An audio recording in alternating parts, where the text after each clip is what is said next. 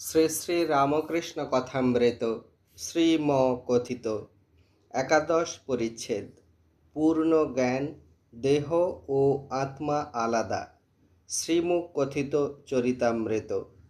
সন্ধ্যা হইল শ্রীরামকৃষ্ণ শয্যায় বসিয়া মার চিন্তা ও নাম করিতেছেন। ভক্তেরা অনেকে তাহার কাছে নিঃশব্দে বসিয়া আছেন। কিয়ৎক্ষণ পরে ডাক্তার সরকার আসিয়া উপস্থিত হইলেন।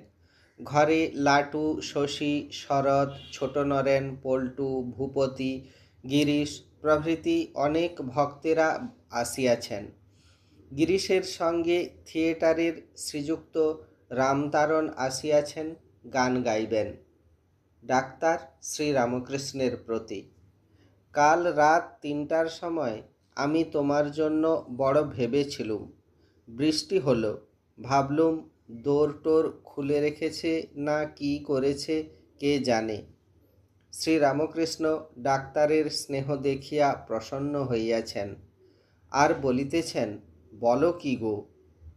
যতক্ষণ দেহটা আছে, ততক্ষণ যত্ন করতে হয়।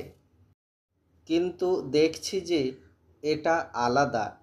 কামিনী কাঞ্চনের উপর ভালোবাসা যদি একেবারে চলে যায়, তাহলে ঠিক বুঝতে পারা যায় যে দেহ আলাদা আর আত্মা আলাদা।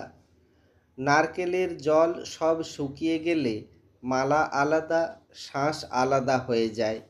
তখন নারকেল টের পাওয়া যায়, ঢপর ঢপর করছে। যেমন খাপ আর তরবার, খাপ আলাদা, তরবার আলাদা।